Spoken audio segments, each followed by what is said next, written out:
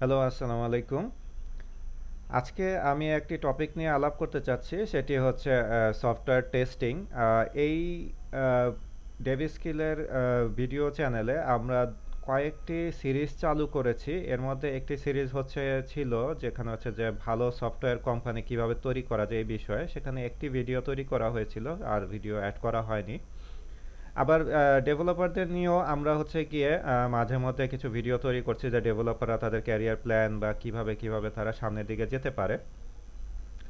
তো এই ভিডিওটি যেটি তৈরি করছি, আমার মনে হয় এটি উভয় পক্ষেই কাজে লাগবে। অর্থাৎ দুইটি সিরিজেই অ্যাড করার মতো একটি ভিডিও এটা সফটওয়্যার কোম্পানির জন্য ইম্পর্টেন্ট আবার হচ্ছে গিয়ে ডেভেলপারদের জন্য ইম্পর্টেন্ট তো মাঝে মধ্যেই আমরা বিভিন্ন সময় দেখা যায় যে টেস্টিং নিয়ে বিভিন্ন কথা বলে থাকি বা টেস্ট সফটওয়্যার টেস্টার হিসেবে ক্যারিয়ার গড়ার বিষয়ে আলোচনা আসে।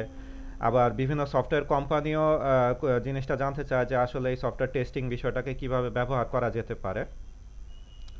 তো আমি এই জন্য একটা ভিডিও তৈরি করতে চাচ্ছি।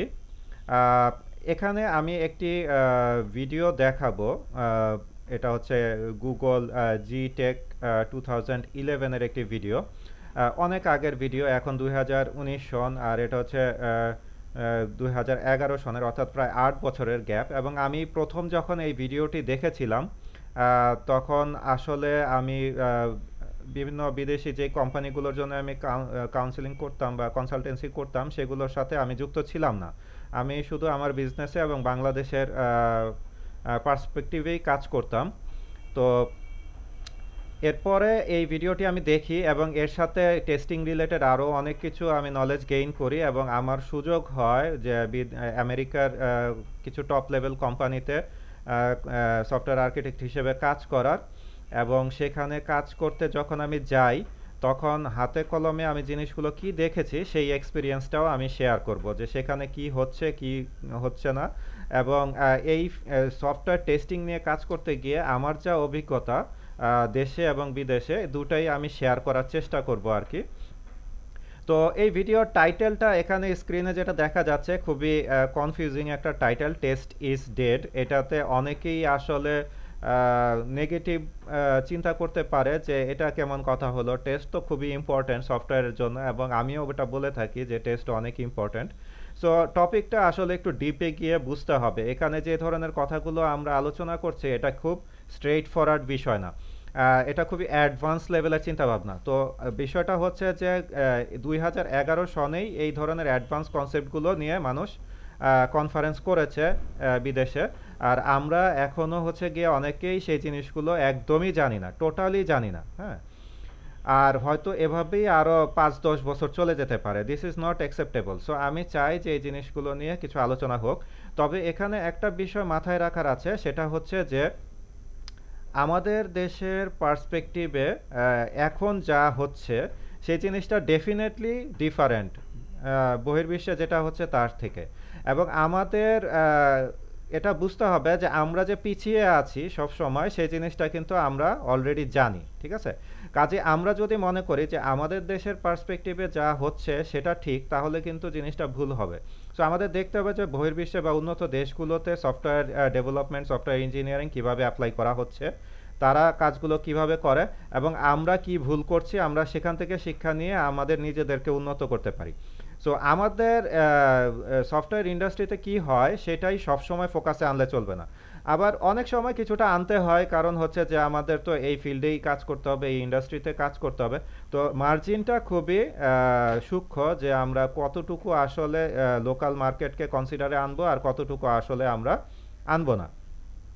তো মাঝে মধ্যে আমি একটা কথা বলে থাকি, সেটা হচ্ছে যে সফটওয়্যার টেস্টার হিসাবে ক্যারিয়ার গড়া এটা ভুল সিদ্ধান্ত, এটা না করা উচিত, কারণ বহির্বিশ্বে হচ্ছে গিয়ে এই রোলটা আস্তে আস্তে নাই হয়ে যাচ্ছে। এখনও হয়তো কিছু আছে, কিন্তু খুবই কমে আসছে। তো এটার সাথে অনেকে অ্যাগ্রি করতে পারে ডিসএগ্রি করতে পারে আই ডোন্ট নো বাট আমি যেটা জানি বা আমি যেটুকু আমার অভিজ্ঞতা থেকে দেখতে পেয়েছি, সেটা আমি শেয়ার করার চেষ্টা করছি বা করব। সো অ্যাগ্রি ডিসএগ্রি যে কেউ করতে পারে, এটাতে কোনো বাধা নাই। আপনার ডিসএগ্রিমেন্টের পয়েন্টগুলো আপনি তুলে ধরতে পারেন যদি আপনি চান। সো এনিওয়ে ফার্স্টে আমি হচ্ছে গিয়ে এই ভিডিওটা দেখাবো এবং এই ভিডিওর পুরোটা তো আসলে দেখা সম্ভব না, প্রায় এক ঘণ্টার ভিডিও। আমি কিছু পোর্শন দেখাবো এবং সেই পোর্শনগুলো আমি একটু এক্সপ্লেইন করব। এবং এই ভিডিওতে আরও পিছনের দিকে অনেকগুলো পার্ট আছে। সেই জিনিসগুলো আমি আর ভিডিও না দেখিয়ে জাস্ট নিজেই ভার্বালি ব্যাখ্যা করব। আপনারা চাইলে ভিডিওটি পুরোটা দেখে নিতে পারেন। এটা আমি এই, আমার এই ভিডিওর ডিসক্রিপশন সেকশনে লিঙ্কটা দিয়ে দিব। আচ্ছা সো চলেন আমরা ভিডিওটা একটু স্টার্ট করি Now comes and tells us this test is dead. Let's see what he actually has to say, what he had to say, sorry, uh, before about it. So here's a quick outline. We're going to start with the Old Testament ality. Uh, I said it would be a presentation of biblical proportions. Uh, then talk about the New Testamentality, why there's been this change, and then so what? And now, if you excuse me, this thing is very, very hot. Uh, I, I, assume human form, so you wouldn't be too repulsed. Um, all right, let's talk about the Old Testamentality. In the beginning, there was a requirements document. Who, who remembers requirements document? Yeah. Anybody over 30? Yes. এখানে একটা মজার বিষয় আলোচনা করি। দেখেন, এখানে একটা প্রশ্ন করা হলো যে রিকোয়ারমেন্ট ডকুমেন্ট এটা কে কে মনে করতে পারছেন? এবং দেখলেন যে, খুব অল্প কিছু মানুষ হাত তুললেন এবং যারা হাত তুলেছেন তারা খুবই প্রবীণ টাইপের ডেভেলপার মানে সবারই মাথায় টাক পড়ে গেছে এই টাইপের। এবং বলল যে এনি বডি ওভার থার্টি অর্থাৎ ত্রিশ বছরের উপরে যাদের বয়স, তারা হচ্ছে গিয়ে এটার সম্পর্কে জানে আর কি বলছে। সো এখানে একটা মজার বিষয় না, কারণ হচ্ছে যে আমাদের দেশে কিন্তু এখনও এই রিকোয়ারমেন্ট ডকুমেন্টের প্র্যাকটিসটা অনেক কোম্পানিতেই রয়ে গেছে এবং অনেক সময় আমি নিজে পার্সোনালি সফটওয়্যার কোম্পানিতে কাজ করতে গিয়ে আমরা দেখেছি যে ডেভেলপাররা অনেক সময় বলে যে আমাদেরকে যদি প্রপারলি রিকোয়ারমেন্ট ডকুমেন্টটা দেয়া হতো, তাহলে কিন্তু প্রজেক্টটা প্রপারলি ডেভেলপ করা যেত। আমাদেরকে কোনো রিকোয়ারমেন্ট ডকুমেন্টেশন দেওয়া হয় নাই সো অলওয়েজ যে বিষয়টা এরকম তা না। অনেক সময় দেখা যায় যে কোনো রিকোয়ারমেন্টই দেওয়া হয়নি। জাস্ট একটা সফটওয়্যার একটা ই কমার্স সাইট বানাও, এরকম বলে দিয়ে দেওয়া হয়েছে। এটাও ঠিক না। আবার properly written hundred percent bulletproof requirement document দেওয়া হবে, এই মেন্টালিটিটাও কিন্তু এখন ব্যাকডেটেড হয়ে গেছে হ্যাঁ? এবং এটা দেখছেন যে, অনেক আগেই বইয়ের বিশ্বে ব্যাকডেটেড হয়ে গেছে। তো আমরা অনেক সময় ডেভেলপারদেরকে দেখি কমপ্লেন করতে যে আমাকে ফুললি রিটার্ন একটা প্রপার রিকোয়ারমেন্ট ডকুমেন্ট দেওয়া হোক এবং আমরা জানি যে এটা ওয়াটারফল মডেলের সাথে অনেকখানি যায় তো চলুন আমরা আবার ভিডিওটা একটু দেখি Now, the requirement documents was literally carved in stone, uh, and you didn't mess with it. You know, get busy or look busy. Um, and the requirement documents begat the specification, the specification begat the design and the documentation. The design and the documentation begat the test plan. The test plan began the test suite, and the test suite begat the bugs. And as we like to say, there was much weeping and gnashing of teeth. It wasn't, it wasn't really a funny way of doing things. So, in the Old Test mentality, things were very, very top down. They came from the top, and at some point, the split between developers and testers. And the two didn't meet until the test uh, crashed heads. What happened? Oh, crashed heads with the, uh, uh, with the code, and we got the bugs. Now, all of this happened at a glacially slow pace weeks, months, sometimes years. The cycles were painfully, uh, painfully slow. And there were artifacts out of this that who, who, who knows what this is? These are horrible constructs, right? Uh, you had per charts, and uh, per charts had sub per charts. Everything was organized this way, and you were supposed to follow. It. Now, no, no, I never met a per chart that anyone actually followed. So, actually, my name for this is the road to pertition. Uh, you know, uh, I, I, wonder if Twitter has any PERT chart. Uh, now, let's talk about testing Testing in the Old Testamentality, what happened is that companies hired one, two, three, four developers, and then they realized, well, we need some testing. They didn't do it themselves, so they hired typically a QA person. They notice the upstairs, downstairs, you know, they were separate but unequal. And uh, so এখানে আরেকটা point note করার দেখেন যে এখানে জিনিসটা হাস্যরসের মধ্যে নিয়ে আসা হয়েছে যে ডেভেলপারদেরকে উপরে রাখা হয়েছে আর টেস্টারদেরকে নিচে রাখা হয়েছে হ্যাঁ? সো দেখানো হচ্ছে আর কি এবং মেনশনও করা হয়েছে যে দেখেন আমরা কয়েকজন ডেভেলপার হায়ার করলাম এবং ডেভেলপাররা তো টেস্ট করবে না সো আমাদের টেস্টিং দরকার, তো আমরা একটা টেস্টারকেও হায়ার করলাম। কিন্তু তাদেরকে সেপারেট রাখা হচ্ছে এবং ডেভেলপাররা ডেভেলপ করছে টেস্টার টেস্টিং করছে, কিন্তু ডেভেলপারদের উপরে বসানো হয়েছে ডায়াগ্রামে টেস্টারদের নিচে বসানো হয়েছে। জাস্ট এটা একটা হিন্ট দেওয়ার জন্য যে একটা ডিসক্রিমিনেশন থাকে কোম্পানির মধ্যে টেস্টারদের প্রতি আর ডেভেলপারদের মাঝখানে টেস্টার এবং ডেভেলপারদের মাঝখানে যে ডেভেলপারদেরকে একটু হায়ার ক্লাস চিন্তা করা হয় টেস্টারদের লোয়ার ক্লাস চিন্তা করা একটু। কিন্তু এটা যে সব কোম্পানিতে থাকবে তা না মানে মেন্টালি একটা সেপারেশন কিন্তু চলে আসে আর কি কাজ করতে করতে বা একটা কোম্পানির কালচারের ভিতরে চলে আসতে পারে বাট এটা অনেক কোম্পানি হয়তো অ্যাভয়েড করতে পারে বাট খুবই ডিফিকাল্ট মানে এটা রিয়েল লাইফ এক্সপিরিয়েন্স থেকে দেখা গেছে যেটা হয়ে যায় আর কি সোজা কথায় And so that's how testing went. They just tossed crappy code over the wall and uh, called every bug a feature. So that's all part of the old test mentality.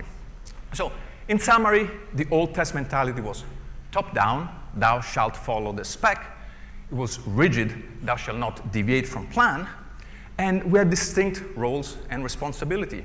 Developers shall developers, and testers shall test, and never the twain shall meet. And finally, there was this very strange attitude that we didn't release software until somebody said that it was ready to be released, right? Don't release, don't sell no wine before it's time. So actually, QA had some power, or at least on, uh, uh, on paper. Well, some people call this the waterfall model. As I said, a lot of people didn't like it. You know, it kind of got them into a lot of trouble. Uh, some they call it water fail um, model. And it led, people wanted change. So they came up with this new change, the new test mentality. Now, in the new test mentality, yeah, it's, it's the same number of fingers, and there's still a finger being pointed, but it's in the different direction, and it's a different finger. So we, we, kind of flip the bird to authority. We say, no, no, no, don't tell me what to write. We decide what, uh, uh, what to write. And so, whereas the Old Test mentality had kind of these principles, you know, focusing on building things right, the New Test mentality kind of just threw that away and came up with this different set of principles. So cycles became very fast, you know, days, weeks, sometimes minutes. Um, we launched software before it's ready. Uh, you may have heard this quote. Actually, I've worked in group where, where this is actually the mandate. You know, yeah, you're embarrassed. You think it's not ready. Perfect. We shall ship it now. Now, this did lead to some problems. Uh, so এখানে একটা আহ, জিনিস mention করতে চাচ্ছি so উনি বললেন যে আহ, এই নতুন প্রসেস প্রসেস যেটা অ্যাজাইল প্রসেস আমরা ডেভেলপ করে থাকি ওয়াটারফল থেকে সর- এসে। সেখানে সাইকেল খুবই ফাস্ট হয়ে গেছে। আমরা ইভেন মানে মিনিটসেও ডে রিলিজ দিয়ে থাকি, এরকমটা ঘটে যায় আর কি। ডে উইক তো না, মনে করেন যে ডে প্রতি ডে বা উইকলি অ্যাটলিস্ট রিলিজ দেওয়া হয়ে যেতে পারে। তো দেখা যাচ্ছে যে এখানে বলা হচ্ছে আর কি যে অনেক ক্ষেত্রে, সেক্ষেত্রে কিছু আন মানে বাগস হয়তো বা চলে যায় যেমন এখানে দেখা যাচ্ছে যে পায়ের সাথে টিস্যু পেপার লেগে আছে মানে হচ্ছে যে প্রপারলি পলিশ করা হয় নাই হয়তো বা জিনিসটা কিছুটা ফল্ট রয়ে গেছে জিনিসটার মধ্যে সো বেসিক্যালি এটা হচ্ছে গিয়ে একটা indication Sometimes software got out the door with some little toilet paper stuck on its foot, but that was okay because it all paid off in the end in what actually uh, mattered. And let's talk about the role of QA in this new test mentality. Remember the old model? Well, the first thing that happened is that the role of tester was minimized, outsourced, offshored, and sent somewhere in the ether. And they used the extra resource to say, let's hire one new developer. Of course, they knew that this sounded a little bit irresponsible, so they made little excuses and they said, well, you know, you see this barrier between developer and testers? We're just going to burn it, and we're going to ask developers to take responsibility for testing uh, their code. Some testers did, some testers don't, some did a lit, some Uh, some did a lot, some did a uh, little. Uh, now, so এখানে যেটা বলা হলো যে কি করা হচ্ছে? প্রথমে টেস্টারটাকে vanish করে দেওয়া হলো। তবে এখানে ভ্যানিশের বিষয়টা এই কারণে নিয়ে আসা হয়েছে যে, এখানে একটা পয়েন্ট আছে যে, এই টেস্টার যে কাজটা করতো, সেই কাজটা এখন কীভাবে হবে? একটু নতুন প্রসেসে হবে কাজটা। একদম যে হবে না তা না বাট এখানে কোনো লোক থাকবে না আর কি। অর্থাৎ কোনো ডেডিকেটেড টেস্টারকে রিক্রুট করা হচ্ছে না, তাকে বাদ দিয়ে দেওয়া হয়েছে চাকরি থেকে, ঠিক আছে? সো এখন যেটা করা হয়েছে, তার বদলে বরং আরেকজন এক্সট্রা ডেভেলপার নেওয়া হয়েছে টিমে ওকে আর যেটা হচ্ছে যে, ওই টেস্টার আর ডেভেলপারের মধ্যে এখন কোনো পার্থক্য রাখা হচ্ছে না। সবাই ডেভেলপার এবং ডেভেলপারদের মধ্যে কেউ কেউ হয়তো কিছু টেস্ট লেখে, কেউ কেউ হয়তো অনেক টেস্ট লেখে, কেউ হয়তো একদমই লিখছে না। বাট এরাই লেখে। যখন টেস্ট লিখতে হয়, তখন তারাই লেখে। কারণ অটোমেটেড টেস্ট এবং এগুলা লিখতে হয় বা টেস্ট করতে হয় হোয়াট এভার আর কি। যদি টেস্ট এটা চেক করার কাজও হয় ডেভেলপাররাই করছে কাজটা আর কি। এটা অটোমেটেড টেস্ট হলে কোড লিখতে হচ্ছে টেস্ট কোড আর যদি ম্যানুয়াল টেস্টিং হয় তাহলে ম্যানুয়ালি করতে হচ্ছে, কিন্তু ব্যাপারটা হচ্ছে যে ডেভেলপাররাই এখন কাজটা করছে আর কি। সো এখান থেকে আমি হচ্ছে গিয়ে একটু ক্যারি অন করতে চাই, আর বাকি পয়েন্টগুলো ভিডিও থেকে দেখাতে চাচ্ছি না সময়ের কারণে বাট আপনারা পুরো ভিডিওটি দেখে নিতে পারেন। সো মূল বিষয়টা হচ্ছে এরকম যে কেন এরকম করা হচ্ছে বা কি হচ্ছে অ্যাকচুয়াল অভিজ্ঞতাটা কি ওকে সো আমি যখন এই ভিডিওটি দেখি, আমার কাছে খুবই রেভলিউশনারি মনে হয় কনসেপ্টগুলো তো এখানে যে জিনিসটা বলা হচ্ছে, সেটা হচ্ছে যে যখন আমরা এক মানে ডেভেলপারদেরকে টেস্ট করতে বলি আর যখন আমরা আলাদা টেস্টার রাখি, দুইটা প্রসেসের মধ্যে কিছু কিছু পার্থক্য আছে। দেখা যায় যে কি হচ্ছে আসলে। সো দেখা যায় যে যখন ডেভেলপাররা নিজেরা টেস্ট করে, তাদের কিছু অ্যাডভান্টেজ থাকে যে তারা হচ্ছে গিয়ে কোডটা সম্পর্কে ভালো জানে। কি কারণে স্ট্রাকচারটা এরকম করা হয়েছে বা কি প্রসেসে জিনিসটা কাজ করছে, তাদের একটা জানা থাকে।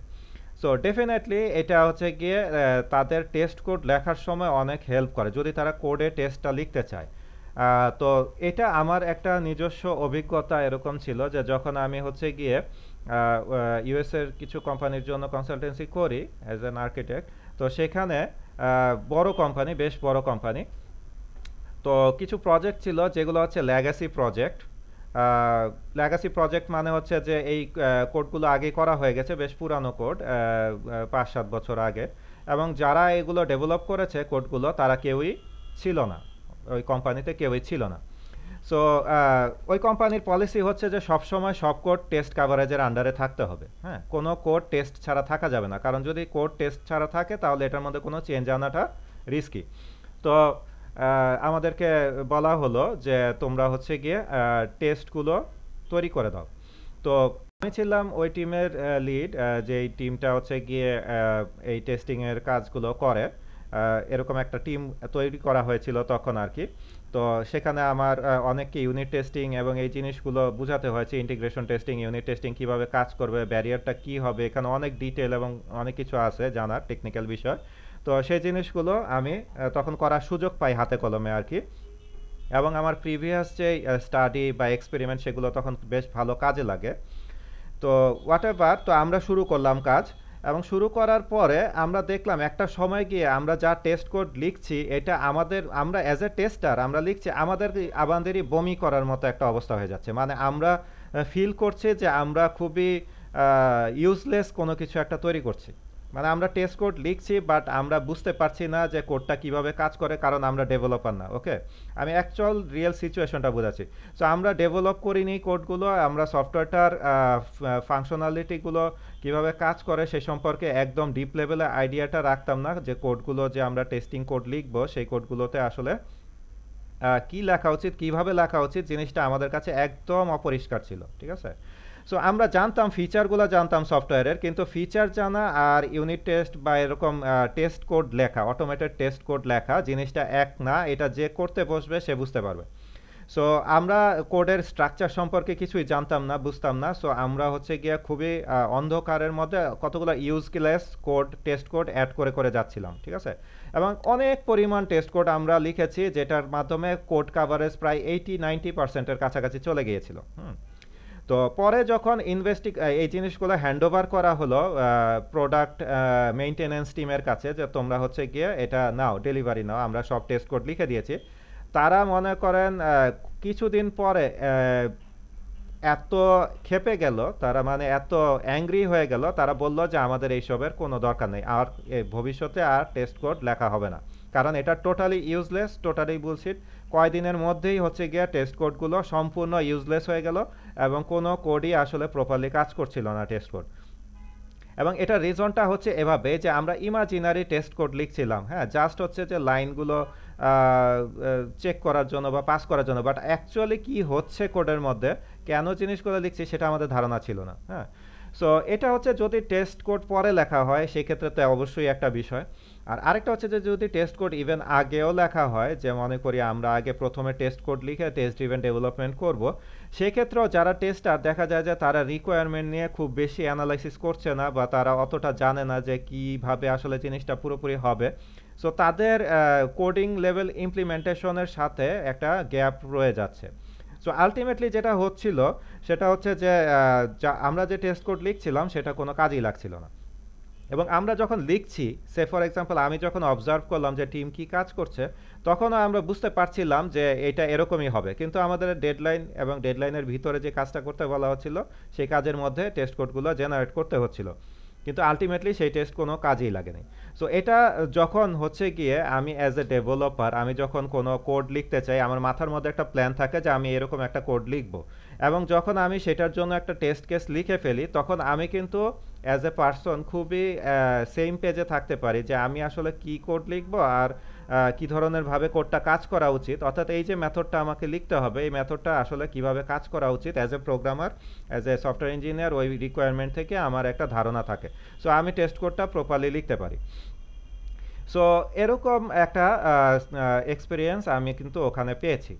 সো এর ফলে যেটা হয়েছে, পরবর্তীতে তারা এভাবে টেস্ট কোড লেখাটা বন্ধ করে দিল এবং পরবর্তীতে ডেভেলপার যারা ছিল, তারাই টেস্ট কোড লেখা শুরু করে দিল। অর্থাৎ ডেভেলপারদেরকেই টেস্ট কোড লিখে লিখে লিখে লিখে ডেভেলপমেন্টের কাজ করতে হতো বা তাদেরকে রিফ্যাক্টরিংয়ের সময় টেস্ট কোড লিখে লিখে রিফ্যাক্টর করতে হতো আলাদা কোনো টেস্টিং টিম ছিল না। প্রথমে পঁয়ত্রিশ জনের টিম ছিল সেটা, পরবর্তীতে সেটা সবাইকে ওখান থেকে বাদ দিয়ে ডেভেলপারে কনভার্ট করা হয়েছে এবং পাঁচজন শেষ পর্যন্ত ছিল এবং লাস্ট পর্যন্ত মনে হয় টোটালি ক্লোজ হয়ে গেছে হ্যাঁ? সো একটা বিশাল কোম্পানি প্রায় বিলিয়ন ডলার রেভিনিউয়ের একটা কোম্পানি সেই কোম্পানির একটা এক্সপিরিয়েন্স আমি শেয়ার করলাম।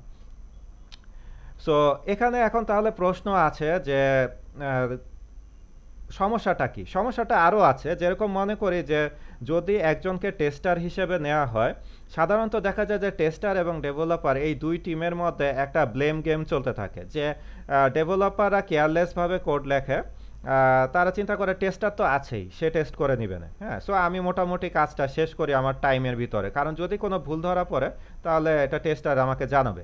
সো আমরা অলওয়েজই দেখি যে যখন রিয়েল এক্সপিরিয়েন্স থেকে, যে যখন হচ্ছে গিয়ে কোনো টেস্টার থাকে টিমে তখন ডেভেলপাররা কোড লেখার সময় কিছুটা রিল্যাক্স থাকে যে আচ্ছা কোনো বাগ হতে পারে কি না বা এখানে বিভিন্ন কন্ডিশনগুলো চেক করার দরকার আছে কি না এটা সে করতে চায় না।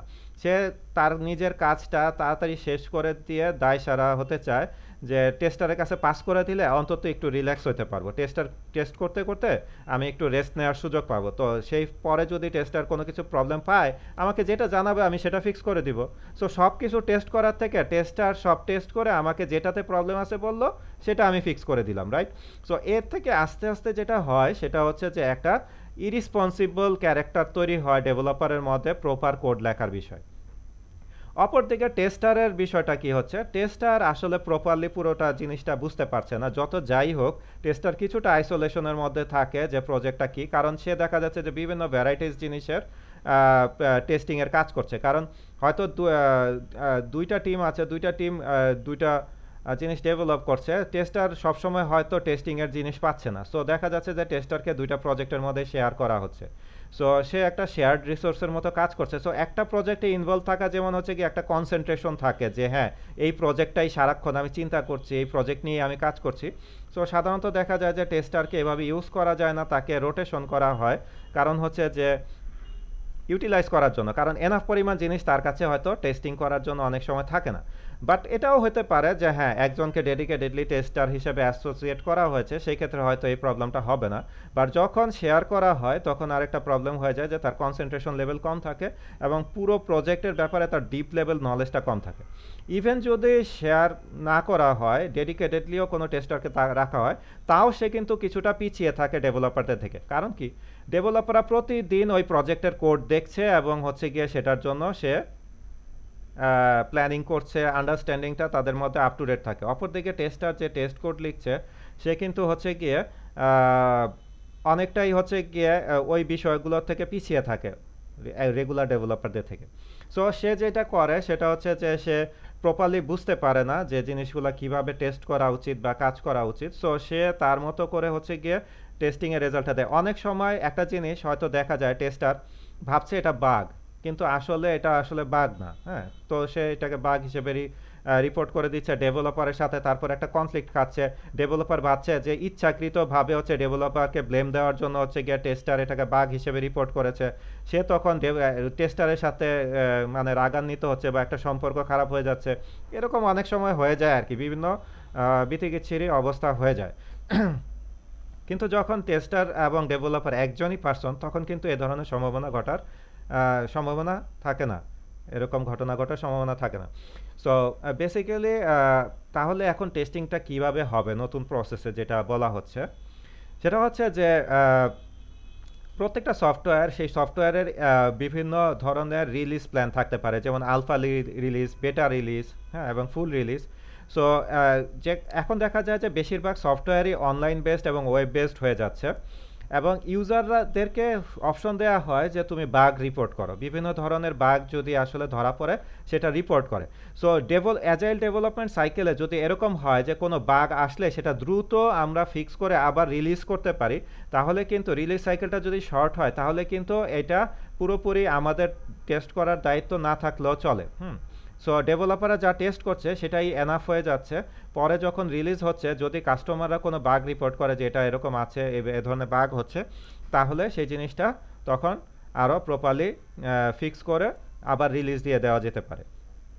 আরেকটা জিনিস হচ্ছে, সেটা হচ্ছে যে যখন টেস্টাররা সরি যখন হচ্ছে কি কাস্টমাররা বাগ রিপোর্ট করছে তখন তারা ওখানে আমাদের বিভিন্ন ধরনের যখন তারা বিভিন্ন সফটওয়্যারটা ইউজ করে, বিভিন্ন লগ রাইট হয় যে আচ্ছা এটা করছে ইউজার এটা করতে গিয়ে এক্সেপশন হচ্ছে। সো এরর লগিংটা যদি ব্যবহার করা যায় প্রপারলি প্রজেক্টে তাহলে কিন্তু ইউজাররা কিছু রিপোর্ট না করলেও আসলে কী ধরনের প্রবলেম হচ্ছে, সেই জিনিসগুলো এরর লগ থেকে আমরা আইডেন্টিফাই করে সেগুলো ফিক্স করে দিতে পারি। সো বিভিন্ন মেকানিজম আছে যার মাধ্যমে হচ্ছে কি একটা সফটওয়্যারে কোনো প্রবলেম হচ্ছে কি না সেটাকে মিনিমাইজ করা যায়। এবং এর মাধ্যমে যেটা হচ্ছে যে ডেভেলপাররা খুব দ্রুত টেস্ট প্ল্যান লিখছে এবং প্রপারলি টেস্ট কোড লিখছে এবং খুব কুইকলি রিলিজ দেওয়ার যে কাজটা সেটা হয়ে যাচ্ছে। সো ডেভেলপার টেস্টারের কাছে পাঠাচ্ছে, টেস্টার তার টাইম মতো এটা টেস্ট করে আবার ডেভেলপারের কাছে পাঠাচ্ছে, ডেভেলপার আবার ফিক্স করে টেস্টারের কাছে পাঠাচ্ছে। এই যে ব্যাক অ্যান্ড ফোর ডিপেন্ডেন্সি হ্যাঁ? যে টেস্টার ফ্রি না থাকলে দেখা যাচ্ছে ডেভেলপার বসে আছে। হ্যাঁ আবার ডেভেলপার তাড়াতাড়ি ফিক্স করতে না পারলে দেখা যাচ্ছে যে টেস্টার বসে আছে। সো এই ধরনের ডিপেন্ডেন্সি তখন আর কিছু থাকছে না। যে যেই কাজ করছে, সে সেই কাজের জন্যই টেস্ট লিখছে টেস্ট করছে এবং সেটাকেই রিলিজ দিচ্ছে। আর যদি আমরা এরর লগার রাখি এবং কাস্টমার ফিডব্যাকের ব্যবস্থা রাখি, তাহলে খুব দ্রুত হচ্ছে গিয়ে আমরা বাঘগুলা সম্পর্কে জানতে পারব এবং আমরা যদি কন্টিনিউয়াস ডিপ্লয়মেন্ট করতে পারি, তাহলে খুব দ্রুত আমরা আবার ফিক্স করে রিলিজ দিতে পারব। তো এই ভিডিওতেও একটা বিষয় বলা হয়েছে যে কিছু কিছু সফটওয়্যারের ক্ষেত্রে এটা হয়তো করা সম্ভব হবে না, কিছু কিছু ক্ষেত্রে। সেটা কি? সেটা হচ্ছে যেমন মনে করেন খুব মিশন ক্রিটিক্যাল কোনো একটা জিনিস, যেমন মনে করেন একটা রকেটের একটা সফটওয়্যার তৈরি হচ্ছে, বা মনে করেন একটা ব্যাংকিং সলিউশন তৈরি হচ্ছে, বা মনে করেন এমন একটা হেলথ কেয়ার সফটওয়্যার তৈরি হচ্ছে যেখানে যদি কোনো বাঘ থাকে তাহলে একজন মানুষ মারা যেতে পারে বা ক্ষতিগ্রস্ত হতে পারে, ঠিক আছে? সো এইরকম কমপ্লিকেটেড কোনো যদি রিস্কি কোনো সফটওয়্যার হয়, সেখানে অবশ্যই আমরা এটা ছেড়ে দিতে পারি না যে আচ্ছা একজন মরুক, মরার পরে তারপরে দেখব না যে বাঘ ধরা পড়েছে সো ফিক্স করে দিব। সো ওই ধরনের সফটওয়্যারের ক্ষেত্রে ডেডিকেটেড টেস্টিং টিম রাখাটা অবশ্যই ম্যান্ডেটরি এবং সেখানে আমাদেরকে প্রপারলি রিলিজ দেওয়ার জন্য কোনো বাঘ যাতে না থাকে, এটা হান্ড্রেড পারসেন্ট এনশিওর করার জন্য ডেডিকেটেড লোক থাকা উচিত। সো সেখানে ম্যানুয়াল টেস্টিং অনেক ভালোভাবে করতে হবে। আর সেখানে এনশিওর করতে হবে যে কোনো বাঘ নাই। আদারওয়াইজ মানুষের জন্য এটা ক্ষতির কারণ হতে পারে। কিন্তু অটোমেটেড টেস্ট এবং কন্টিনিউয়াস ইন্টিগ্রেশন এই দুইটার মাধ্যমে এখন যে ডেভেলপমেন্ট অ্যাজাইল ডেভেলপমেন্ট প্রসেস চলে আসছে সেই জায়গাতে দেখা যাচ্ছে যে ইউনিট টেস্ট লেখা এবং ইন্টিগ্রেশন টেস্ট সিস্টেম টেস্ট এই টেস্টগুলো অটোমেটেড টেস্ট দিয়েই আসলে কাজ চলে যাচ্ছে। আর যদি কোনো ম্যানুয়াল টেস্টের দরকার পড়ে, সেটা দেখা যাচ্ছে যে কাস্টমার ফিডব্যাক থেকে আমরা বা- এরর লগার থেকে আমরা পেয়ে যাচ্ছি বেশিরভাগ ক্ষেত্রেই। আর হালকা পাতলা টেস্ট ডেভেলপাররাও করতে পারে ওকে সো এক্ষেত্রে দেখা যাচ্ছে যে ইভেন আমাদের দেশেও বা অন্য দেশেও ডেভেলপারদের প্রায়োরিটিটা সেকেন্ডারি প্রায়োরিটি হিসেবে চিন্তা করা হচ্ছে। অর্থাৎ কেউ একজন যদি একটা কোম্পানি যদি চিন্তা করে ফার্স্টে সে চিন্তা করবে যে আমার ডেভেলপার হায়ার করতে হবে। কারণ কি, আমার তো আগে কোড লেখা দরকার। সে ডেভেলপারদেরকে হাই প্রায়োরিটি দিয়ে আগে হায়ার করবে। এরপরে যদি তার পক্ষে সম্ভব হয় যে তার বাজেট এবং ইন্টেনশন আছে, তাহলে হয়তো সে একজন টেস্টারকে হায়ার করবে। সো টেস্টারকে কিন্তু প্রথম দিকেই হচ্ছে গিয়ে আলাদা করে ফেলা হচ্ছে। একটা ডিসক্রিমিনেশন করা হয়ে যাচ্ছে। সো এটা দেখা যায় যে অনেক ক্ষেত্রেই প্রবলেমেটিক হয়ে যায়। ইভেন একজন টেস্টার সে যখন হচ্ছে গিয়ে ডেভেলপার হিসেবে নিজের ক্যারিয়ার কনভার্সন করতে যায়, এটাও অনেক কোম্পানিতে দেখা যায় যে তাকে অনেক সময় প্রবলেম ফেস করতে হয়। মেন্টাল প্রবলেম সবাই তাকে টেস্টার টেস্টার ভাবে ডেভেলপার ভাবে না। তো দেখা যায় যে তাকে জব সুইচ করতেও বলা হয়। অনেক অথর বইয়ের অথর তারা বলেছে যে অনেক সময় যদি এটা করা না যায় যে রিসপেক্টটা যে রিসপেক্টটা ডেভেলপার বা অন্যদের কাছ থেকে পাওয়া যেটা সে ডিজার্ভ করে। যদি তার এনাফ স্কিল থাকে, তাহলে সে ডেভেলপারে নিজেকে কনভার্ট করতেই পারে। তো সেখানে তার সেই রিসপেক্টটা ডিউ রিসপেক্টটা পাওয়া উচিত। তাকে ছোট বা কম দক্ষ হিসেবে চিন্তা করাটা ঠিক না। কিন্তু অনেক সময় দেখা যায় যে ওই কোম্পানিতে থাকলে আর সেটা করাই হয় না। তখন জব সুইচ করে অন্য কোম্পানিতে অ্যাজ এ ডেভেলপার জয়েন করা লাগে আর কি। সো এরকম কিছু প্রবলেমের মধ্যে যারা অ্যাকচুয়ালি আমরা কাজ করেছি, দেখেছি যে প্রপারলি আসলে টেস্টিং অ্যাপ্লাই করলে জিনিসটা কি হয়, তারা আমরা জানি যে হ্যাঁ জিনিসগুলোতে প্রবলেমগুলো হয় কি হয় না হ্যাঁ? সো আমাদের দেশে অ্যাকচুয়ালি প্রপার সফটওয়্যার টেস্টিং করে প্রপার রিলিজ প্ল্যান অনুযায়ী রিলিজ দেওয়ার কাজগুলো হয় খুব কোম্পানিতে অনেক ডেভেলপারেরই ধারণা নাই যে এই কাজগুলো কীভাবে হয় এবং কীভাবে হওয়া উচিত। সো অনেকেই আসলে ভুল ধারণার উপরে অনেক সময় ভুল কথা বলে থাকে বা ভুল চিন্তা করে থাকে। কিন্তু যেগুলো আপনি রিয়েল লাইফে দেখবেন ঘটতে, সেই জিনিসগুলো কিন্তু আসল ইনফরমেশন যে হ্যাঁ এটা হয় বা এরকম ঘটনা ঘটে থাকে। যেমন আপনার কাছে এটা হয়তো বা খুবই হাস্যকর লাগতে পারে যে, একজন ডেভেলপার একজন টেস্টারকে কেন মানে ডিসক্রিমিনেট করবে বা কেন তাকে আলাদা চোখে দেখবে। হ্যাঁ কিন্তু যখন আপনি এটা প্র্যাকটিক্যালি আপনার টিমের মধ্যে ঘটতে দেখবেন, তখন আপনি বুঝতে পারবেন যে, ও আসলে এটা। কারণ মানুষ সাইকোলজিক্যালি অনেক অদ্ভুত এবং অনেক কিছু ঘটে থাকে। সো স্যালারির দিক থেকেও টেস্টার যারা থাকে, তাদের স্যালারি ডেভেলপারদের স্যালারি থেকে বেশি হয়ে যায়। এই কথাটা আমি বিশ্বাস করি না। সবসময় আমি দেখেছি কম থাকতে এবং সবসময় কম হিসেবেই দেওয়া হয়ে আসছে এবং কম হিসেবে দেওয়া হওয়ার রিজনও আছে, অনেক রিজন আছে। আমাদের দেশে ইনফ্যাক্ট আরও একটা প্রবলেম দেখা যায় যে সফটওয়্যার টেস্টিংয়ে সাধারণত জুনিয়র বা ফ্রেশারদেরকে নেওয়া হয়। সো এটা একটা টোটালি ম্যাস আপ সিচুয়েশন যদি এটা হয়ে থাকে, তাহলে এটা টোটালি রং একটা প্রসেস হ্যাঁ কতখানি রং হতে পারে যে আপনি একটা জিনিস তৈরি করছেন, সেটা টেস্ট করার দায়িত্ব দেওয়া হচ্ছে আপনার থেকে আরও যে লো স্কিল তাকে। মনে করেন বিষয়টা এরকম যে পরীক্ষার খাতা দেখ স্টুডেন্টের পরীক্ষার খাতা টিচার না দেখে বরং টিচারের পরীক্ষার খাতায় স্টুডেন্ট দেখছে। ঠিক আছে? টিচারের খাতায় স্টুডেন্ট দেখছে। বিষয়টা অনেকটা এরকম হয়ে গেল না? সো ফ্রেশার আমি এখানে টেস্টার এবং ডেভেলপারের মধ্যে পার্থক্যর কথা বলছি না। আমি বলছি যে একজন ফ্রেশারকে যখন টেস্টার করা হচ্ছে সো একজন মনে করেন সিনিয়র ডেভেলপার তার কাজটা দেখছে কে? একজন ফ্রেশার টেস্ট করছে। টেস্টার টেস্টিং করাটা কতটা চ্যালেঞ্জিং কাজ, এটা আমরা যখন হচ্ছে গিয়ে বড় কোম্পানিগুলোতে টেস্টিং করতে যাই প্রপারলি তখন আমরা বুঝি যে কত চ্যালেঞ্জিং কাজ হ্যাঁ?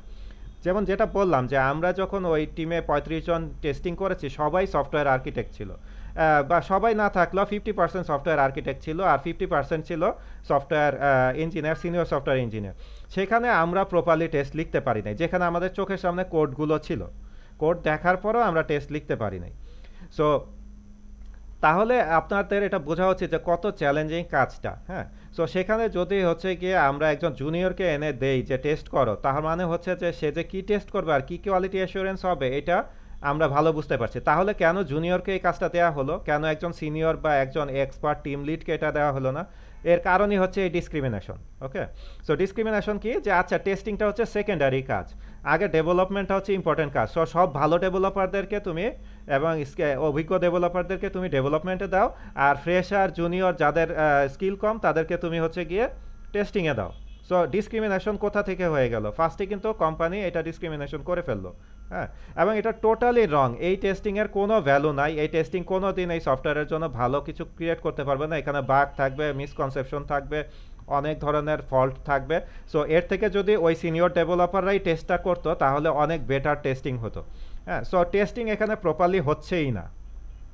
জুনিয়র ডেভেলপারকে যখন টেস্ট টেস্টার হিসেবে নেওয়া হচ্ছে, তাকে এই কাজ দেওয়া হচ্ছে আচ্ছা দেখো তো লগ ইনটা কাজ করে কিনা। জাস্ট গিয়ে ইউজার নেম পাসওয়ার্ড দিয়ে ইনপুট দিয়ে দেখবা যে লগ ইনটা কাজ করে কিনা। এই ধরনের কাজ যেগুলোর অটোমেশন করা সম্ভব, সেগুলো হয়তো তাকে দেওয়া যেতে পারে। কিন্তু খুবই ক্রিটিক্যাল কোনো একটা লজিক বিজনেস লজিক কি, কোনো ক্রিটিক্যাল একটা বিজনেস লজিক ওই জুনিয়র কি পারবে টেস্ট করতে? যেটা ডেভেলপারের একজন সিনিয়র ডেভেলপারের জন্যই অনেক কমপ্লিকেটেড একটা থট হতে পারে। যেটা তার মাথা থেকে আসাটা একটা জটিল কাজ। সেটা কি ওই জুনিয়র ডেভেলপার পারবে চিন্তা করে বের করতে? অবশ্যই সে পারবে না, তাই না? সো তাকে টেস্টিং দেওয়া হচ্ছে মানেই হচ্ছে খুব টিপিক্যাল কিছু বোরিং কাজ যেগুলো অটোমেশন করা যায়, সেই বোরিং কাজগুলো হচ্ছে তাকে দেওয়া হচ্ছে যে তুমি এগুলো বসে বসে টেস্ট করো। অথচ সেই জিনিসগুলো কিন্তু অটোমেট করা যায়। ইউজার নেম পাসওয়ার্ড দিলে লগ ঠিকভাবে কাজ করে কিনা, এটা অটোমেট করা সম্ভব। এরকম ফিচারগুলো অটোমেট করা সম্ভব। ইভেন একটা এরর হলে সেই এরর মেসেজটা আসে কি না ঠিকভাবে সেটা অটোমেট করা সম্ভব। সো সফটওয়্যার কোম্পানিগুলো যারা হচ্ছে গিয়ে প্রপারলি টেস্টিং অ্যাপ্লাই করে না, তারা তখন এই মডেলে হচ্ছে গিয়ে টেস্টারদেরকে রিক্রুট করছে। এখন করছে ভালো কথা। আমার কথা হচ্ছে যে ওই রোলে জয়েন করল, তার ক্যারিয়ার এবং তার ফিউচারটার কি হলো? সো সে এখন ভবিষ্যতে কি করবে? সে কি পরবর্তীতে ডেভেলপার হতে পারবে? যদি দুই বছর সে টেস্টিং ক্যারিয়ারে টাইম ওয়েস্ট করে ফেলে এবং পিছিয়ে পড়ে, তাহলে পরবর্তীতে অন্য তার সহপাঠী যারা ডেভেলপার হিসেবে অন্য কোম্পানিতে জয়েন করেছে, তাদের তুলনায় কি তা, সে পিছিয়ে থাকবে না এগিয়ে থাকবে? আমি বলব যে যারা সফটওয়্যার টেস্টার আছেন দুই একজনের ক্ষেত্রে হয়তো বা এক্সেপশনাল কিছু হতে পারে। অনেক ব্রিলিয়েন্ট কোনো একজন টেস্টার থাকতে পারেন বা কোনো একটা কোম্পানিতে হয়তো টেস্টারদেরকে অনেক হাই ভ্যালু দেওয়া হয়ে থাকতে পারে। এক্সেপশনাল কেস অনেক সময়ই ঘটবে এবং সবসময়ই ঘটবে, কিন্তু exception cannot be example right so আমরা কখনোই এক্সেপশন নিয়ে কাজ করতে পারি না। আমরা দেখতে পারি যে অ্যাকচুয়াল প্রসেস কি? এবং আপনারা দেখছেন যে এটা এরকম না যে যদি এখন কেউ টেস্টার হতে না চায়, তাহলে কোম্পানি বিপদে পড়ে যাবে। বরং কোম্পানি ডেভেলপারদেরকে যদি টেস্টিংয়ের কাজ এবং এই নতুন অ্যাজাইল ডেভেলপমেন্ট প্রসেসে আসতে চায়, তাহলে কিন্তু কোম্পানি আরও বেনিফিটেড হবে। সো এরকম না যে সবাই যদি টেস্টিং ক্যারিয়ার ছেড়ে যায়, আমার কথা শুনে, তাহলে এই কোম্পানিগুলো বিপদে পড়ে যাবে। আমি বরং মনে করি কোম্পানিগুলোর আসলে প্রপারলি টেস্টিংটা অ্যাপ্লাই করার জন্য যেই প্রসেসগুলো অ্যাপ্লাই করা দরকার, সেগুলোর দিকে মনোযোগ দেওয়া উচিত। তাদের কন্টিনিউয়াস ইন্টিগ্রেশন নিয়ে আসা উচিত কন্টিনিউয়াস ডিপ্লয়মেন্ট নিয়ে আসা উচিত, তাদের অটোমেটেড টেস্টিংয়ের বিষয়টা বাড়ানো উচিত এবং ডেভেলপারদেরকে ইউনিট টেস্ট এবং ইন্টিগ্রেশন টেস্ট এইসব টেস্টের বিষয়ে আরও স্কিল্ড করে তৈরি করা উচিত এবং তাদেরকে এই কাজগুলো করতে দেওয়া উচিত। সো যারা হচ্ছে গিয়ে টেস্টিং ক্যারিয়ারে জয়েন করেছেন তারা অনেকেই ফিডব্যাক দিতে পারেন যে তারা কি মনে করেন। আসলে আমাদের সমস্যাটা হচ্ছে যে আমরা যারা কথা বলি আমি হয়তো আমার অভিজ্ঞতা শেয়ার করছি, ঠিক আছে? কিন্তু আমরা অনেক সময় যারা কথা বলি, আসলে আমরা নিজেরা কি ফেস করেছি, সেটা খুব কমই কথা বলি। হুম। অনেক সময় দেখা যায় যে আন্দাজে কথাটা বেশি বলি হ্যাঁ? যে যেটা দেখেছি বা সেটা তো এই এটা হয় কারণ হচ্ছে যে যারা প্রবলেমগুলো ফেস করেছেন বা যারা দেখেছেন অ্যাকচুয়াল রিয়েলিটিটা কি, তারা এসে জিনিসগুলো বলেন না। তাদের বলা উচিত। আসলে এই বিষয়ে কথা বলা উচিত কাদের? যারা টেস্টিংয়ে ক্যারিয়ার গড়েছেন তাদের। যারা টেস্টার হিসেবে দুই, তিন, চার, পাঁচ বছর হিসেবে ক্যারিয়ার করেছেন তারা কি দেখেছেন সফটওয়্যার কোম্পানিতে তারা কি দেখেছেন যে কোনো ধরনের ডিসঅ্যাডভান্টেজ দেখেছেন তারা নাকি তারা অ্যাডভান্টেজ দেখছেন? তারা কি ভাবছেন যে টেস্টার ক্যারিয়ার হিসেবেই তাদের ক্যারিয়ারটা তৈরি করা ঠিক হয়েছে? নাকি তারা ভাবছেন যে তারা ডেভেলপার হলে ভালো হতে পারতেন? এখন এখানে আরও একটা বিষয় আসছে যে অনেকে দেখা যায় যে যারা টেস্টিং ক্যারিয়ারে জয়েন করেন, তারা সাধারণত দেখা যায় যে নন সিএস ব্যাকগ্রাউন্ডের অনেকেই আসেন। এবং তারা অনেক সময় মনে করেন যে আচ্ছা টেস্টার হিসেবে আমি জয়েন করতে পারছি, কিন্তু আমি ডেভেলপার হিসেবে পাচ্ছি না, কারণ আমি নন সিএসএ এবং আমার প্রোগ্রামিং স্কিলটা কম। So that is okay but অনেক সময় সিএস ব্যাকগ্রাউন্ডের অনেকেই হচ্ছে গিয়ে প্রশ্ন করে থাকেন যে, আমি সিএস ব্যাকগ্রাউন্ডের আমি কি টেস্টার হিসেবে জয়েন করব কিনা? বা, আমি হয়তো প্রোগ্রামিং স্কিলে একটু দুর্বল, তাই আমি ভাবছি যে টেস্টার হিসেবে জয়েন করব কিনা? প্রথম কথা হচ্ছে যে, আপনি এভাবে কেন আপনার ক্যারিয়ার প্ল্যানকে ফিক্স করার চেষ্টা করবেন? বরং আপনি যেটা করবেন, সেটা হচ্ছে যে, আপনি কীভাবে আপনার প্রোগ্রামিং স্কিল বাড়াতে পারেন, সেটার দিকে ফোকাস দেন। এবং আমাদের উচিত যে, পৃথিবী কোথায় যাচ্ছে, বাইরের বিশ্ব কীভাবে ডেভেলপমেন্ট অ্যাপ্রোচ করছে, সেই সেই জিনিসগুলো অ্যাডপ্ট করে সেগুলো ফলো করা। আমরা ভুলভাবে কাজ করে সেটাকেই আরও কারেকশন হিসেবে দাবি করব, সেটা কিন্তু না। বরং আমাদের ভুলগুলো কারেক্ট করতে হবে। সো ধন্যবাদ আজকে আর এই পর্যন্তই রাখছি। ইনশাল্লাহ ভবিষ্যতে আরও বিভিন্ন সফটওয়্যার ইঞ্জিনিয়ারিংয়ের প্রসেস নিয়ে বা বিভিন্ন টপিক নিয়ে আলাপ হবে। সো ভালো থাকবেন সবাই, আল্লাহ হাফেজ।